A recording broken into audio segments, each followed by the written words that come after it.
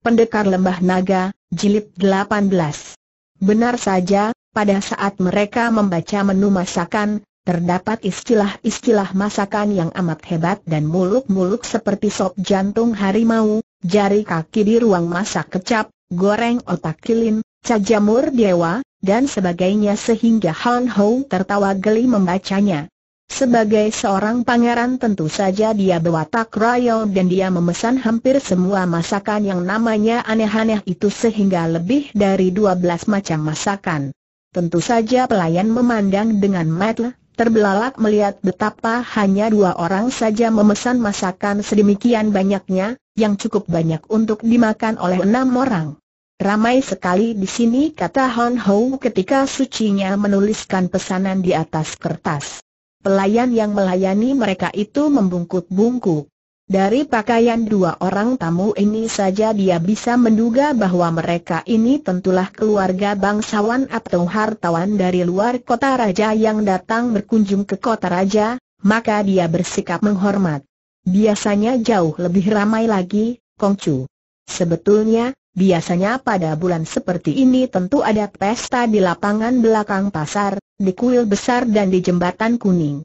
Akan tetapi semenjak Sri Baginda Kaisar yang mulia menderita sakit, semua pesta untuk sementara dibatalkan.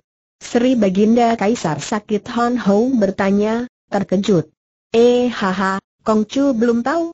Seluruh penduduk kota raja berprihatin karena sakit beliau itu agak berat, Pelayan lalu menerima catatan pesanan dan tidak berani lagi lebih banyak membicarakan kaisar yang pada masa itu masih dianggap sebagai seorang manusia yang setingkat dengan utusan atau wakil Tuhan sehingga tidak boleh banyak disebut-sebut. Han Hong saling berpandangan dengan sucinya. Kaisar sakit? Ahaha, kalau begitu kita terpaksa menunda sampai beberapa hari, sampai beliau sembuh, Sute. Kalau beliau sakit, Mana mungkin kita diperbolehkan menghadap bisik Kim Hang Li Unyo kepada sutenya. Han Hou hanya mengangguk, akan tetapi diam-diam hatinya khawatir sekali. Memang ibunya sudah mendengar berita bahwa Kaisar sakit, akan tetapi tidak disangkanya bahwa penyakitnya berat sehingga sampai sekarang pun masih sakit sehingga semua penghuni kota raja pun sampai berprihatin dan segala macam pesta ditiadakan. Berita itu mengurangi kegembiraan Hon Ho, sungguh pun dia masih dapat menikmati hidangan masakan yang memang betul-betul lezat dan yang belum pernah dirasakannya itu. Ketika mereka sedang asyik makan minum, tiba-tiba pandang mata Hon Ho tertarik oleh tiga orang kakek pengemis yang berpakaian menyolok sekali.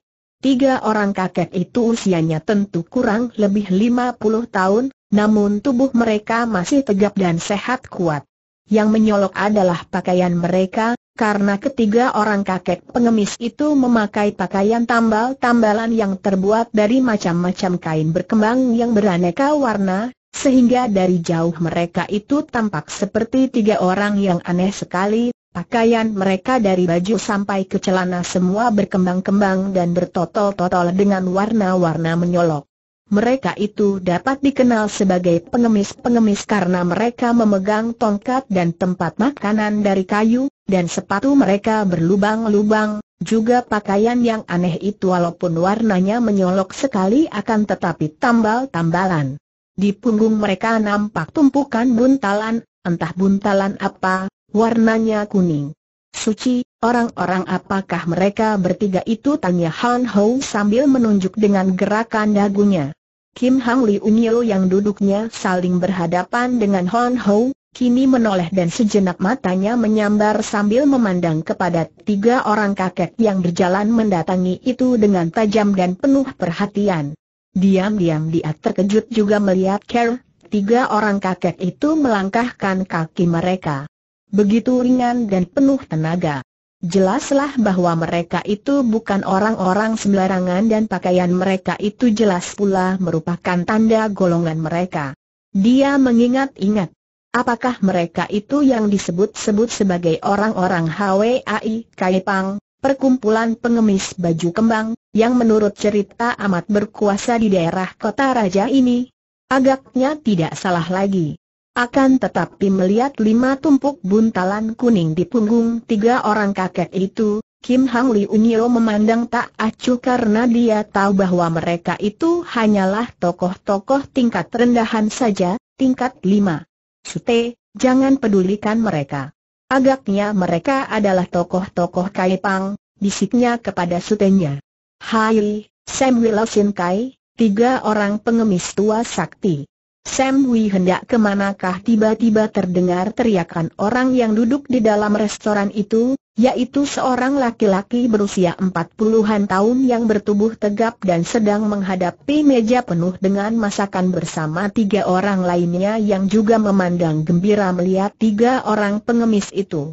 Ahaha, kiranya Yeu Kamsu, guru silat Yeu, dari Chin An dan tiga orang saudara dari Sin Ho Piao Kiok kata seorang di antara tiga kakek pengemis itu sambil berhenti melangkah di depan restoran, di luar jendela di mana empat orang itu duduk.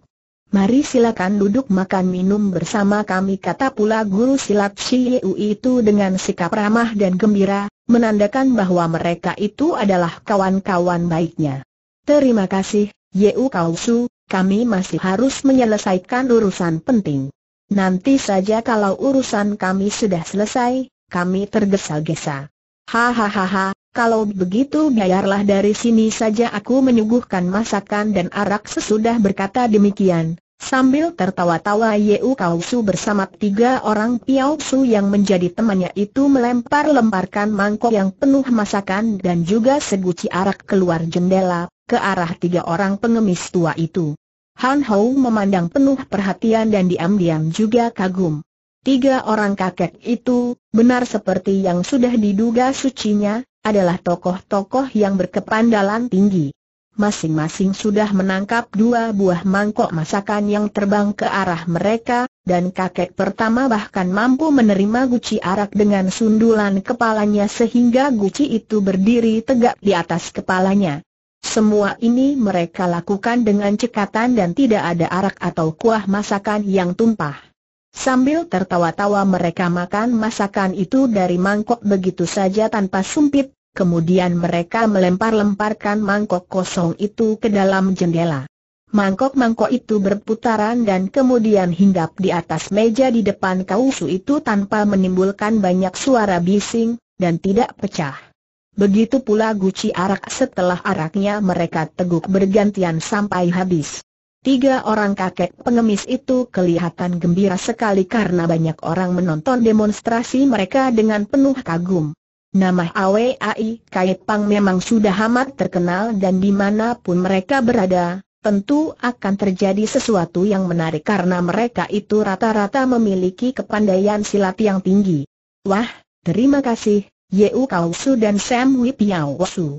Dengan suguhan itu, kami tak perlu lagi minta sumbangan dari para tamu restoran ini, kecuali terhadap seorang tamu yang datang dari tempat jauh, mereka mengusap-usap perut mereka, kemudian melangkah maju menghampiri meja Han Ho.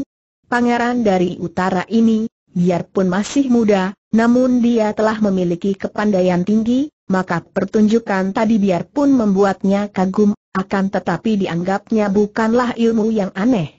Sedangkan Kim Hang Li Unyo sama sekali tidak mempedulikan mereka, dan ketika tiga orang pengemis itu tiba-tiba berhenti melangkah di depan jendela mereka dan mereka bertiga memandang kepadanya dengan mata, tidak pernah berkedip, dengan sinar mata yang tajam dan mengandung kemarahan, Kim Hang Li Unyo masih mengambil sikap tidak peduli. Toanio, kasihanilah kami tiga orang pengemis tua, kata yang seorang. Kami bertiga mohon dermaan dari Toanio, sambung yang kedua. Semoga Tian memberkahi kebaikan Toanio, sambung pula yang ketiga. Melihat sucinya bersikap acuh tak acuh, Han Hong cepat mengeluarkan tiga keping uang perak dan menyerahkan tiga keping uang itu kepada mereka sambil berkata, ini sedikit sumbangan dari kami, harap diterima dengan senang. Tiga orang kakek pengemis itu menerima tiga keping uang perak itu, masing-masing satu keping, akan tetapi mati mereka mendelik dan salah seorang di antara mereka berkata, Kong Chu menganggap kami ini orang apa maka memberi sumbangan uang perak dan tiba-tiba mereka melemparkan tiga keping uang perak itu di atas meja depan Hon Hao. Cep, cep, cep tiga keping uang perak itu menancap ke dalam papan meja sampai hampir rata dengan permukaan meja. Ketiga orang pengemis tua itu mengira bahwa tentu pemuda cilik yang tanpa disengaja telah menghina tiga orang tokoh tingkat lima dari HWAI Kait Pang akan menjadi terkejut, setidak-tidaknya tentu akan pucat mukanya karena lontaran uang perak itu saja sudah menunjukkan kehebatan mereka. Akan tetapi, ketiga orang kakek pengemis itu saling lirik ketika melihat pemuda yang berpakaian mewah itu sama sekali tidak terkejut, bahkan lalu tersenyum. Ahaha, kiranya Sam Hui tidak membutuhkan uang perak lagi. Terpaksa kusimpan kembali setelah berkata demikian, Han Ho menggerakkan tangan kanannya ke arah tiga keping uang perak yang menancap dan berjajar di atas meja itu, menjepit tiga keping uang perak itu di antara jari-jari tangannya, mengerahkan sinkang lantas dengan enak saja dia sudah mencabut keluar tiga uang perak itu kemudian mengantonginya.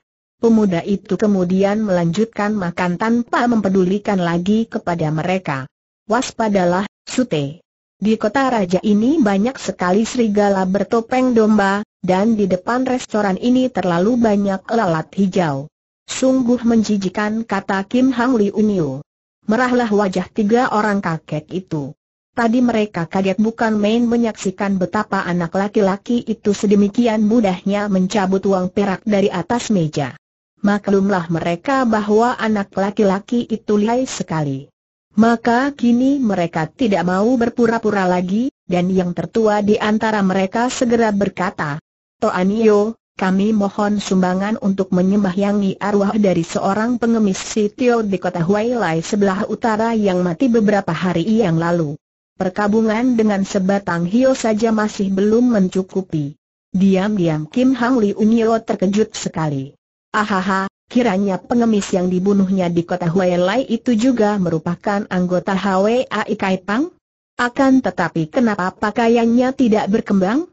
Dia tidak tahu bahwa HWAI Kaipang merupakan perkumpulan pengemis yang amat besar kekuasaannya sehingga seluruh pengemis, baik yang berkelompok di dalam perkumpulan lain maupun yang tidak memasuki perkumpulan, Semuanya menganggap HWAI Kait Pang sebagai induk perkumpulan yang bisa mereka andalkan untuk membela kaum pengemis, dan sebaliknya HWAI Kait Pang juga menganggap seluruh pengemis dari mana pun juga sebagai umat mereka.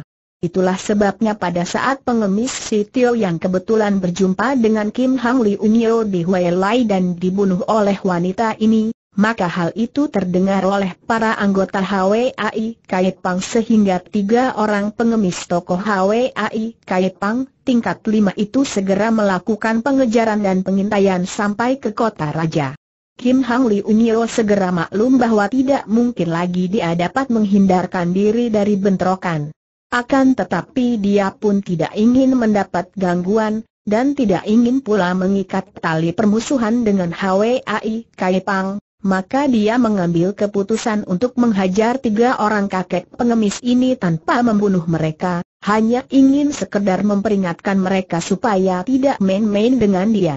Diambilnya sekeping uang emas dari dalam saku bajunya, karena dia bermaksud hendak menyumbang sekeping uang emas, sebuah sumbangan yang luar biasa besarnya, untuk membuat para pengemis puas dan tidak mengganggunya lagi.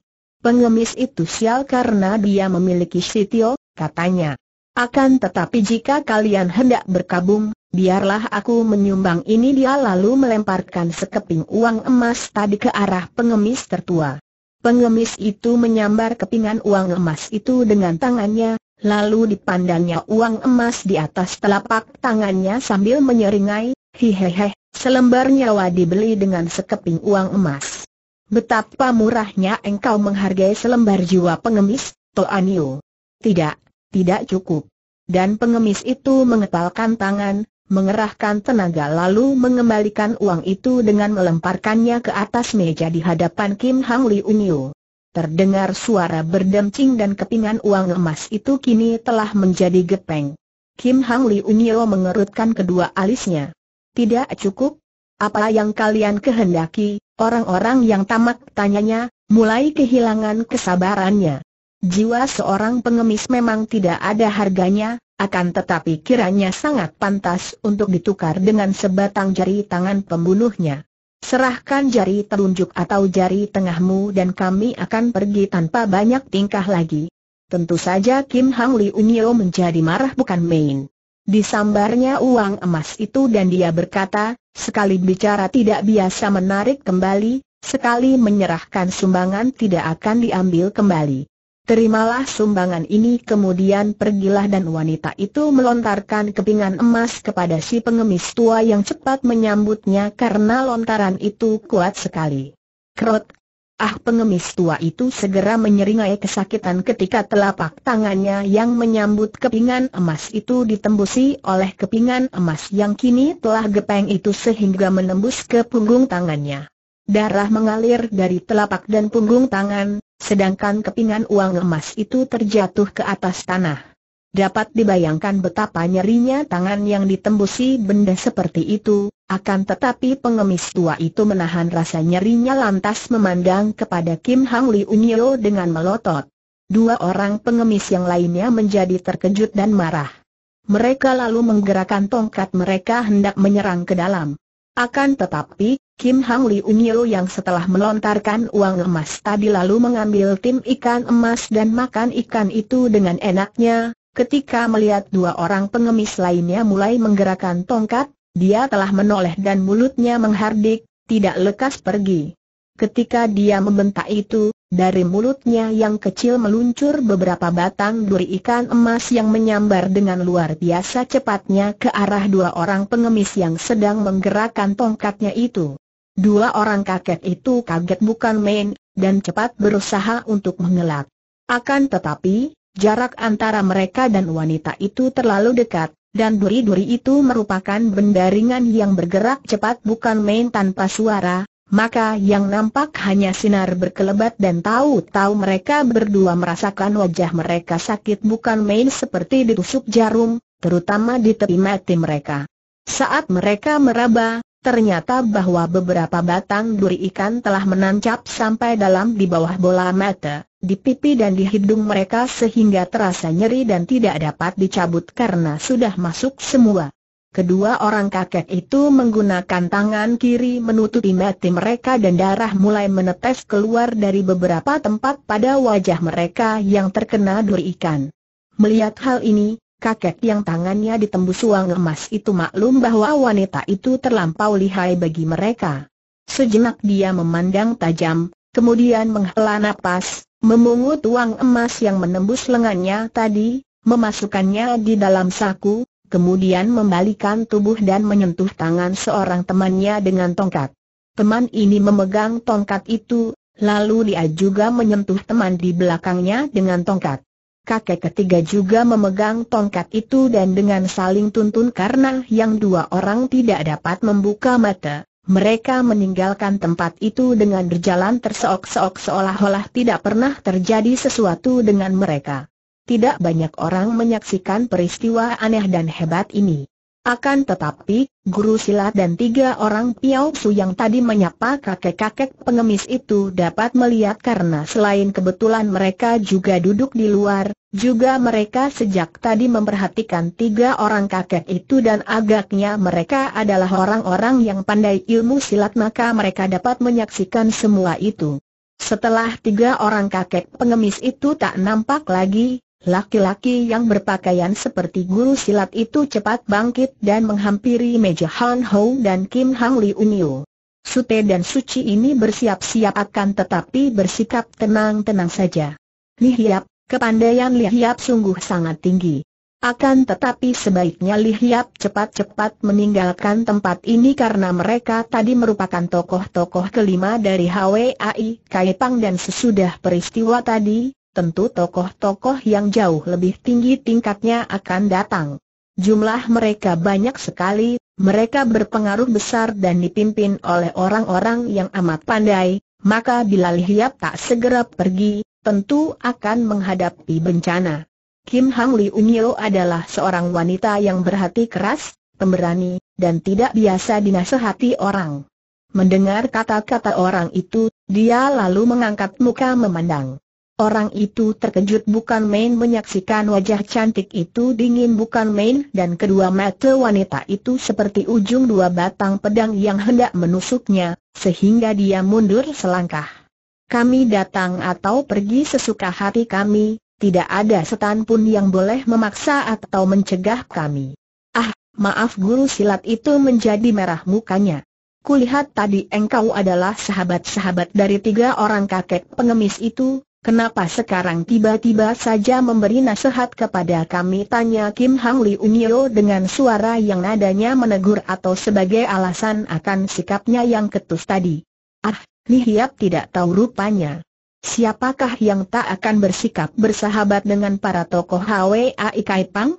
Tadi menyaksikan kelihayan Li Hiap, maka saya merasa khawatir dan lancang bicara, akan tetapi saya telah cukup banyak berbicara dan maafkan kalau saya lancang menasehati Lihiap. Guru silat itu lalu menjura dan kembali ke mejanya.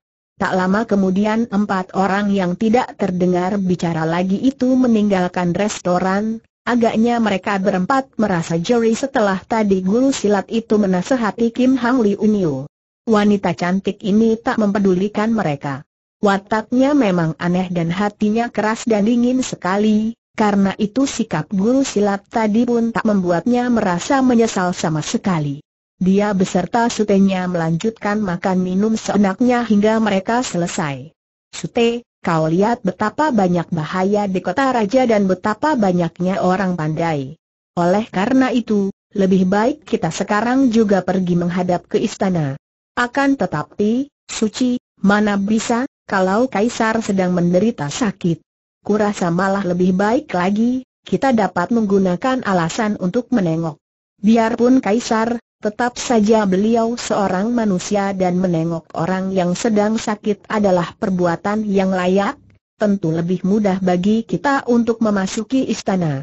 Han Hong tidak membantah lagi dan mereka lalu meninggalkan restoran, Berkemas lalu berangkatlah mereka menuju ke istana kaisar yang tentu saja dapat mudah mereka cari di kota raja itu. Gentar juga rasa hati Kim Hang Li Unyo melihat keagungan dan kemegahan istana yang dikurung pagar tembok, dijaga ketat oleh pasukan pengawal yang sangat kuat. Dari balik pintu gerbang sudah nampak bangunan istana yang amat besar, megah dan indah, yang membayangkan keindahan, keagungan dan kekuasaan besar itu. Bukan hanya di pintu gerbang istana itu saja yang penuh dengan pasukan penjaga yang bersenjata lengkap dan melakukan penjagaan ketat, namun juga nampak berkilauannya senjata dan pakaian penjaga yang melakukan penjagaan di atas tembok, dan Kim Hang Li Unyo maklum bahwa makin ke dalam tentu istana itu makin dijaga dengan ketat oleh pengawal-pengawal yang berkepandaian tinggi. Oleh karena itu, hanya orang gila sajalah kiranya yang akan berani memasuki istana itu tanpa izin. Betapapun pandainya seseorang, kiranya tak mungkin akan dapat menembus penjagaan-penjagaan yang amat ketat itu, apalagi kalau diingat bahwa di sebelah dalam lingkungan tembok istana itu tentu terdapat pengawal-pengawal yang sangat tinggi ilmu kepandaiannya. Ketika para penjaga melihat ada seorang wanita cantik dan seorang pemuda tanggung, Keduanya berpakaian mewah serta indah berhenti di pintu gebang, tentu saja mereka menaruh perhatian dan sebentar saja Suci dan Sute itu telah dikurung oleh para penjaga.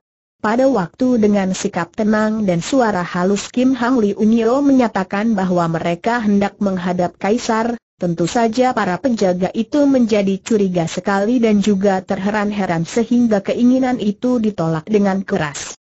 Ah, apakah dikira mudah saja hendak pergi menghadap kaisar kata kepala penjaga sambil memandang wajah cantik itu dengan tajam dan penuh selidik.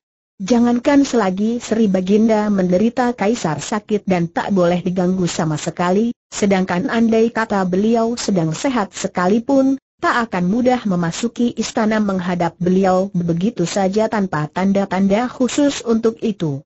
Kami adalah utusan dari utara, dari Sri Baginda Raja Sabutai berkata Kim Hang Li Unyo yang mulai merasa tidak sabar. Semua penjaga tertegun. tentu saja mereka telah mendengar nama Raja Sabutai di utara yang pernah menggegerkan kota Raja dengan penyerbuan-penyerbuannya itu. Akan tetapi tentu saja mereka pun tidak percaya bahwa Raja Besar yang ditakuti atau pernah ditakuti itu mengirim utusan berupa seorang wanita cantik dan seorang pemuda tanggung. Toanio, tentu saja engkau boleh mengaku utusan dari mana pun, akan tetapi apa tanda-tandanya dan bagaimana kami bisa tahu bahwa kalian adalah utusan Raja? Apakah kalian memiliki kenalan seorang pembesar di kota Raja? Hanya dengan perantaraan pembesar yang memang mempunyai kekuasaan saja kami dapat mempercaya. Suci, perlihatkan benda pemberian ibu itu, mendadak Han Ho berkata dalam bahasa Mongol kepada sucinya. Dia pun merasa terhina dan tak senang. Katanya Kaisar adalah ayah kandungnya, jadi dia adalah seorang pangeran, namun kini penjaga-penjaga biasa saja melarangnya untuk memasuki istana ayah kandungnya. Kim Hang Li Unyo mengerutkan kedua alisnya.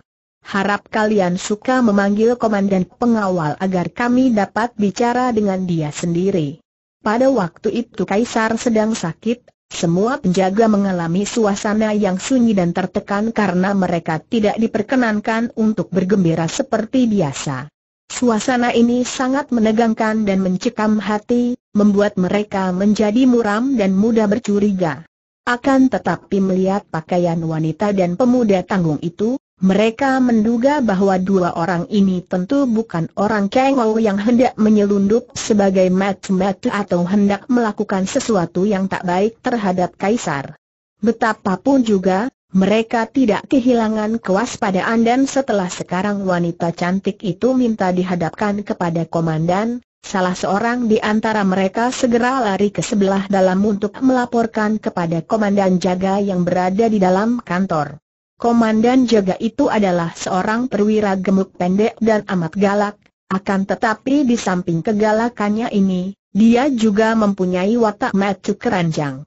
Ketika mendengar laporan bahwa ada seorang wanita cantik yang minta untuk menghadap kaisar, maka dia langsung menghampiri cermin, mengurut kumisnya lalu membereskan pakaiannya, baru kemudian bergegas keluar menuju ke pintu gerbang di mana dua orang tamu itu masih dikepung oleh anak buahnya. Cuping hidung perwira gemuk itu kembang kempis ketika dia melihat bahwa wanita yang datang dan hendak bertemu dengan dia benar-benar adalah seorang wanita yang cantik manis sekali. Dia menyeringai, kemudian dengan suaranya yang sudah biasa menghardik dan membentak bawahannya dia berkata, Minggir semua. Biarlah aku memeriksanya. Para anak buah pasukan penjaga lalu minggir dan mundur menjauh. Perwira gendut itu menghampiri Kim Hang Liu Nio, matanya yang berminyak itu mengamati wajah wanita itu, kemudian sinar matanya meraba-raba dari atas ke bawah seperti hendak menggerayangi wajah dan tubuh yang padat di balik pakaian yang mewah itu. Menyaksikan sikap ini saja, diam-diam Kim Hang Li Unyot telah merasa mendongkol bukan main. Akan tetapi dia segera maklum bahwa di tempat ini dia harus sanggup menahan kesabarannya dan tidak boleh menimbulkan keributan. Maka dia segera berkata, Ciang Kun, kami berdua adalah utusan dari utara, dari Raja Sabutai untuk menghadap Sri Baginda Kaisar. Perwira itu agaknya baru sadar bahwa wanita itu baru saja mengajak dia bicara. Tadi dia memandang seperti orang terpesona karena memang dia tertarik sekali oleh kecantikan wanita itu. Apa? Ahaha, menghadap Sri Baginda Kasar? Mana bisa, beliau sedang sakit dan Justru karena mendengar beliau sedang sakit maka Sri Baginda Raja Sabutai mengutus kami untuk menengok dan melihat keadaan Sri Baginda Kaisar, jawab Kim Hang Li Unyo cepat-cepat. Perwira itu berpikir sejenak, lalu dia berkata, hal ini tidak dapat dilakukan secara begitu mudah dan sembarangan. Akan saya laporkan dulu ke dalam, kepada kepala pengawal dan sementara itu kalian harus menunggu di dalam kantorku untuk pemeriksaan. Kalian harus diperiksa. Diperiksa Kim Hang Li Unyo bertanya. Ya, diperiksa kalau-kalau kalian membawa senjata. Aku sendiri yang harus memeriksa, karena setiap orang yang ingin memasuki istana tanpa ada surat izin atau surat perintah resmi, harus dicurigai dan diperiksa. Akan tetapi, aku tidak membawa senjata dan dia ini, tentu saja dia membawa pedang karena dia adalah seorang pangeran, dia putra Sri Baginda Raja Sabutai. Agaknya perwira itu tidak percaya dengan keterangan ini, akan tetapi karena pikirannya sudah membayangkan betapa dia akan memeriksa atau menggeledah tubuh wanita ini untuk mencari senjata, Padahal tentu saja maksudnya supaya memperoleh kesempatan untuk menggerayangi tubuhnya dengan kedua tangannya dan kalau mungkin, siapa tahu, memujuk wanita itu agar suka melayaninya di kamar kantornya, maka dia tidak begitu menaruh perhatian. Pangeran atau bukan, harus diperiksa dulu. Marilah, Nona, mari ikut bersamaku ke dalam kantorku untuk digeledah, baru aku akan melaporkan ke dalam untuk melihat keputusan apakah kalian bisa diperkenankan masuk ataukah tidak. Sambil berkata demikian, tanpa ragu-ragu lagi perwira itu lalu mengulurkan tangan hendak menggandeng tangan yang kecil halus berkulit putih itu.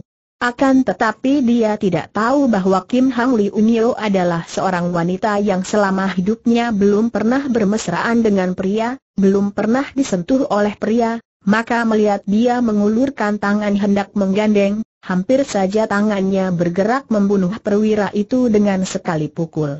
Untung bahwa dia masih teringat dan cepat dia menarik tangannya sehingga pegangan perwita itu luput dan Kim Hang Li Unyo cepat melangkah mundur sambil mengerutkan alisnya. Ciang Kun, kami adalah orang-orang terhormat yang tidak selayaknya digeledah. Kalau memang engkau hendak melaporkan keadaan kami ke dalam istana, silakan, kami akan menunggu di sini kata Kim Hang Li Unyo dengan suara tegas. Hem, tidak bisa. Kalian harus ku geledah. Mari, kalian ikutlah aku memasuki kantorku. Melihat sikap keras ini, Kim Hang Li Unyo menjadi semakin marah. Kalau kami tidak sudi digeledah? Hem, kalau begitu kalian harus ditahan. Bagus. Dengan tuduhan apa pula? Tuduhan bahwa kalian mungkin sekali match-match musuh. Hampir saja kini Hang Li Unyo tidak dapat menahan lagi kesabarannya, akan tetapi pada saat itu pula muncul seorang laki-laki berpakaian panglima yang datang dari dalam istana dengan langkah kaki tergesa-gesa. Panglima ini adalah seorang laki-laki berusia kurang lebih 40 tahun, berpakaian sebagai panglima yang gagah, Sikapnya gagah dan berwajah jantan. Kedua matanya yang lebar itu berpandangan tajam dan jujur, tubuhnya tinggi besar tegap dan kelihatan jelas bahwa dia memiliki tenaga yang besar. Seorang panglima yang benar-benar gagah perkasa, perutnya kecil, dadanya bidang, tidak seperti kebanyakan panglima yang perutnya besar-besar. Semua orang, juga termasuk perwira pendek gemuk, cepat bersiap dan memberi hormat kepada Panglima yang baru keluar ini. Panglima itu membalas penghormatan mereka dan ketika dia melihat wanita cantik berpakaian indah dan seorang pemuda tanggung berdiri di situ, dia lantas tercengang. Apalagi ketika dia menatap wajah Hon Ho, dia kelihatan terkejut dan cepat dia bertanya, apakah yang terjadi di sini? Siapakah adanya Nona dan orang muda ini?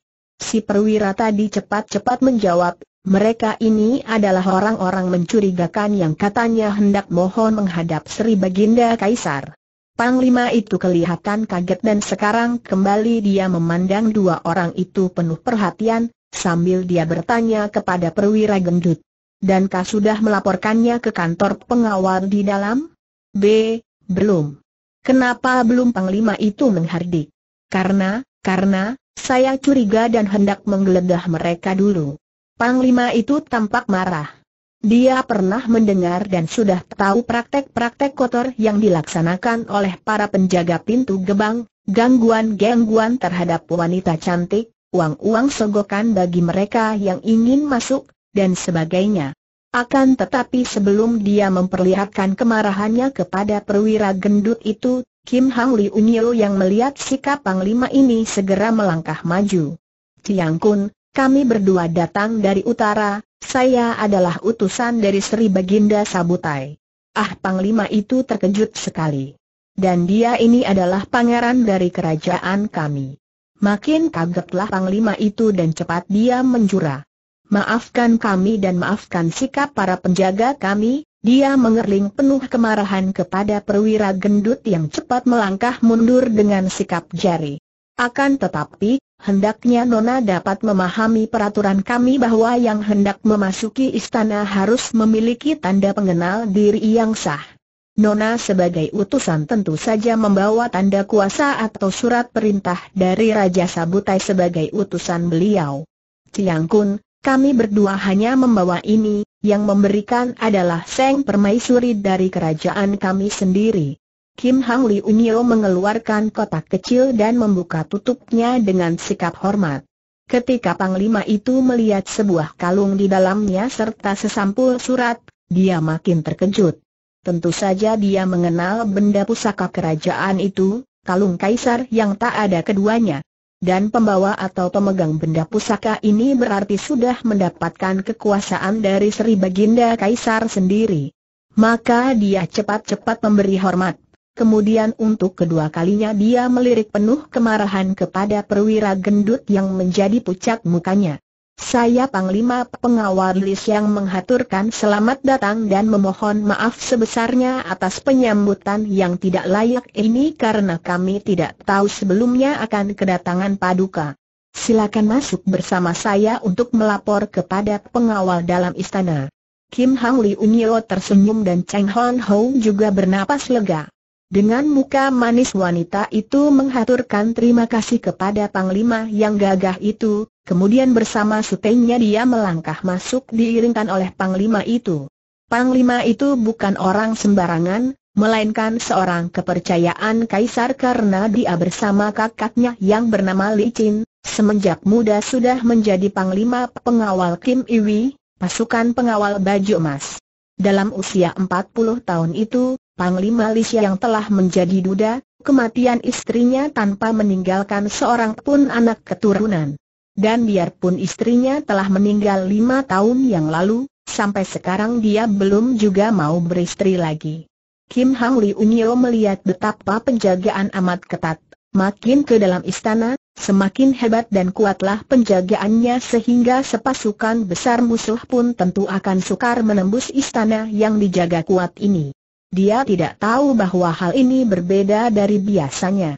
Dia tidak tahu pula bahwa di dalam istana terjadi ketegangan-ketegangan, bukan hanya karena kaisar menderita penyakit yang cukup berat, akan tetapi terutama sekali karena adanya desas-desus bahwa akan timbul pemberontakan di dalam istana.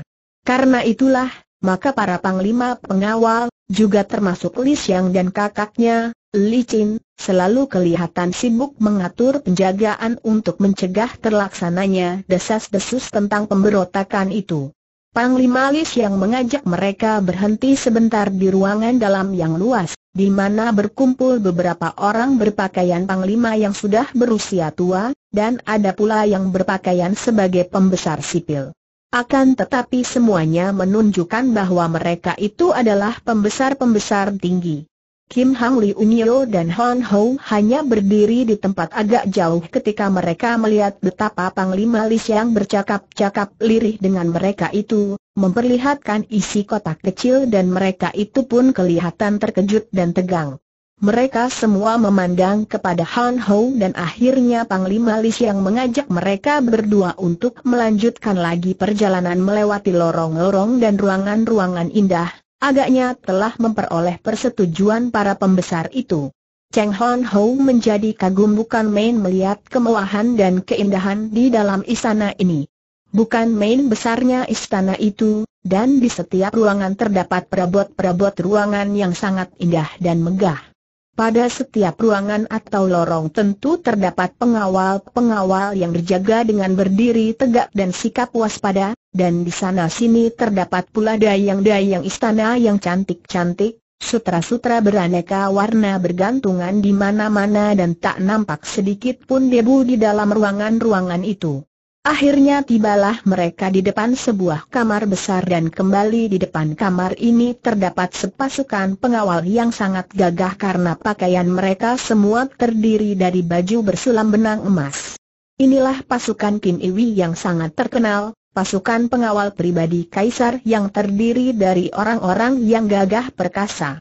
Pada saat melihat dua orang ini dikawal oleh panglima mereka sendiri, para pengawal itu cepat memberi hormat dan memberi jalan. Dua orang dayang cantik membukakan pintu dan Panglima Li mengawal dua orang tamu itu memasuki kamar. Kamar itu indah sekali dan sangat luas. Kaisar nampak rebah terlentang dengan bantal tinggi mengganjal kepala dan punggungnya, wajahnya pucat akan tetapi sikapnya tenang. Banyak orang berlutut di atas lantai menghadap ke pembaringan Sri Baginda, terdapat beberapa orang laki-laki tua berpakaian sipil, ada juga yang berpakaian panglima, dan ada pula seorang laki-laki muda berpakaian mewah. Pemuda ini adalah Pangeran Cheng Suliat, salah seorang di antara pangeran-pangeran yang ada di kerajaan itu. Juga di dalam kamar besar ini ada sembilan orang pengawal yang selalu memegang tombak di tangan, siap untuk melindungi kaisar bila mana terjadi sesuatu. Dayang-dayang cantik dan muda berkumpul di sudut, siap melaksanakan segala perintah kaisar.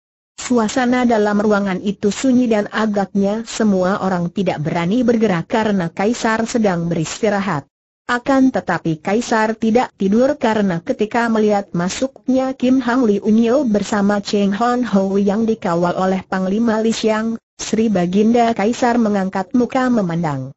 Begitu memasuki pintu, Li Xiang langsung mengajak dua orang itu berlutut, kemudian menggeser kaki mendekat ke pembaringan.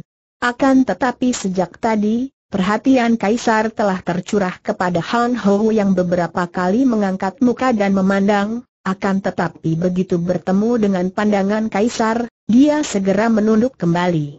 Keadaan yang sangat tangker di dalam kamar itu membuat jantung berdebar tegang juga. Segala sesuatu di dalam kamar itu penuh wibawa yang menakutkan. Mohon beribu ampun dari Paduka Sri Baginda Kaisar atas kelancangan hamba mengawal masuk dua orang utusan dari Sri Baginda Sabutai yang mohon menghadap, Panglima Lis yang berkata dengan suara halus agar tidak mengejutkan Kaisar. Akan tetapi Kaisar yang semenjak tadi memperhatikan Hon Ho, menjadi tertarik sekali mendengar disebutnya nama Sabutai, dan Kaisar segera miringkan tubuhnya menghadapi Hon Ho yang masih berlutut.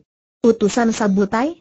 Kim Hang Li Unyo cepat memberi hormat lalu mengeluarkan kotak itu, mengangkatnya tinggi di atas kepala sambil berkata dengan kepala menunduk. Hamba Kim Hang Li Unyo diutus oleh Yang Mulia Permasuri Hamila agar menghaturkan isi kota ini kepada Paduka Yang Mulia Sri Baginda Kaisar. KHA Hamila Kaisar terbelalak dan wajahnya berseri sejenak, lalu dia mengangguk kepada Panglima pengawal lain yang sudah berusia 60 tahun dan yang berlutut di dekat pembaringan. Panglima ini adalah Panglima pengawal licin yang setia. Panglima ini lalu melangkah menghampiri Kim Hang Liunio, menerima kotak itu lantas membukanya untuk meneliti bahwa isinya tidak mengandung sesuatu yang membahayakan kaisar.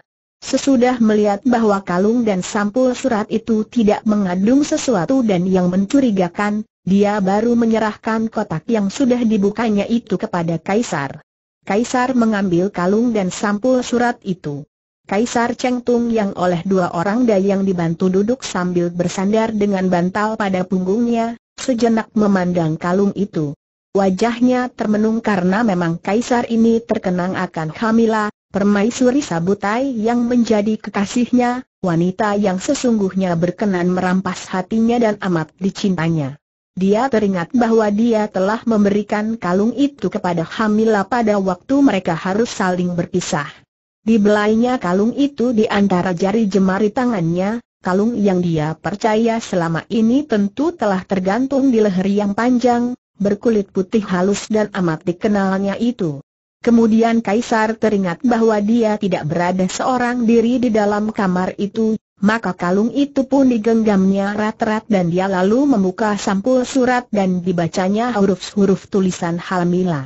Sri Baginda Kaisar Cheng Tung Pujaan Hamba Perkenankanlah hamba untuk memperkenalkan anak Cheng Hon Ho kepada Paduka, dan sudilah Paduka memberkahi anak yang haus akan doa restu serta kasih sayang ayahandanya itu. Hamba yang rendah, Hamila. Kaisar Cheng Tung memejamkan matanya dan surat itu terlepas dari jari-jari tangannya, melayang turun ke atas dadanya. Untuk sejenak terbayang wajah yang cantik jelita dan lembut, terngiang-ngiang di telinganya suara yang merdu halus itu. Kemudian dia kembali membuka mata dan menoleh. Sepasang mata kaisar itu agak basah saat dia memandang kepada Han Ho. Namamu Han Ho tanyanya.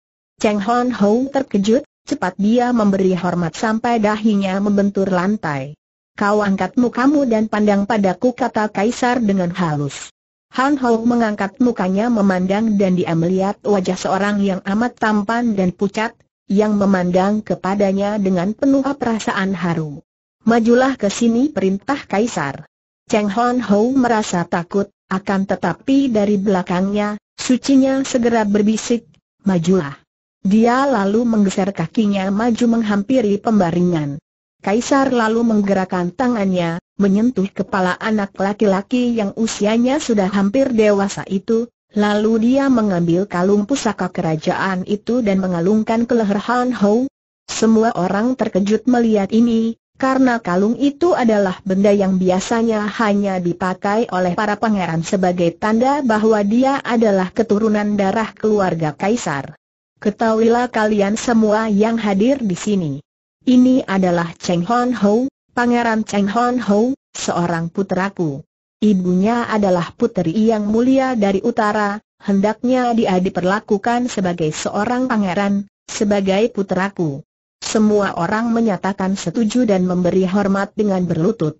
Pada waktu itu, dari pintu muncul pula seorang pemuda dan ketika Kim Hang Li Unyo menoleh, dia terkejut bukan kepalang. Pemuda yang baru muncul ini bagaikan pinang dibelah dua saja apabila dibandingkan dengan sutenya. Wajah mereka begitu mirip. Pangeran Mahkota datang menghadap Sri Baginda seorang dayang memberitahukan dengan suara halus. Kaisar mengangkat muka dan Panglima Lis yang lalu menarik tangan Hon Ho agar mundur dan bersama Kim Hang Li Unyo berlutut di pinggir untuk memberi jalan kepada Pangeran Mahkota yang baru tiba.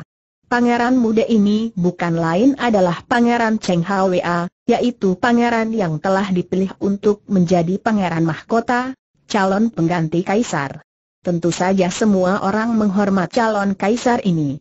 Dengan sikap tenang Pangeran Cheng Hwa melangkah maju menghampiri pembaringan ayahnya setelah dia melempar kerling ke kanan kiri dan tersenyum kepada semua orang yang amat dikenalnya dengan baik sebagai orang-orang yang dekat dengan ayahnya itu. Hanya dia agak heran ketika melihat Hon Ho dan Kim Hang Liu Nio, akan tetapi dia tidak menyatakan keheranannya dan langsung menghampiri pembaringan ayahnya, lalu duduk di tepi pembaringan. Semoga Tian senantiasa memberkahi ayahanda kaisar dengan kebahagiaan dan usia panjang hingga selaksa tahun, kata pangeran itu dengan ucapan yang sungguh-sungguh dan penuh hormat ucapan yang menjadi kebiasaan atau kesopanan di dalam istana. Kaisar tersenyum mendengar kata-kata ini dan dengan tangannya dia menyentuh pundak puteranya yang disayangnya itu seolah-olah menjadi pengganti rasa terima kasihnya. Bagaimanakah keadaan Paduka? Semoga sudah lebih baik, kata Seng Pangeran. Aku gembira hari ini Seng Kaisar berkata. Lihat, dia itu adalah saudaramu. Dia adalah Cheng Hon Ho, ibunya adalah seorang puteri di utara. Cheng Hwe bangkit berdiri dan memandang.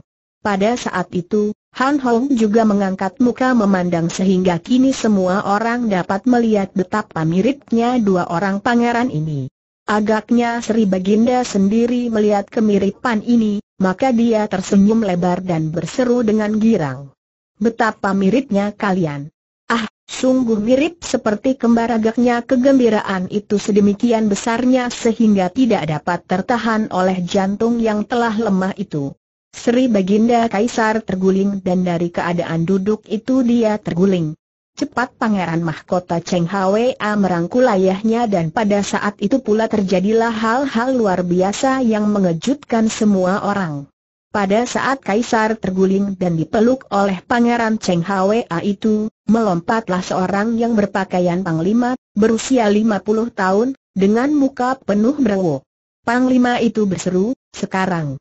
Dan dengan pedang yang sudah dicabutnya dia segera menubruk ke depan, menyerang Pangeran Mahkota Cheng Hwa dengan tusukan pedangnya dari belakang. Semua orang terperanjat dan saking kagetnya sampai tidak mampu berbuat sesuatu. Akan tetapi pada saat itu, Cheng Hon Ho sudah berteriak nyaring dan tubuhnya langsung mencelat ke depan, menerjang kepada Panglima yang menyerang Pangeran Mahkota itu. Dengan tangkisan nekat, Han Ho mengejutkan Panglima tua itu sehingga pedangnya menyeleweng dan melukai lengan kiri Han Ho lalu terus meluncur dan melukai pundak kanan Pangeran Mahkota. Dan pada saat itu pula, Kim Hang Li Unyo telah bergerak dan nampaklah sinar merah meluncur dan menyerang Panglima itu ketika dia menggerakkan sabuk merahnya.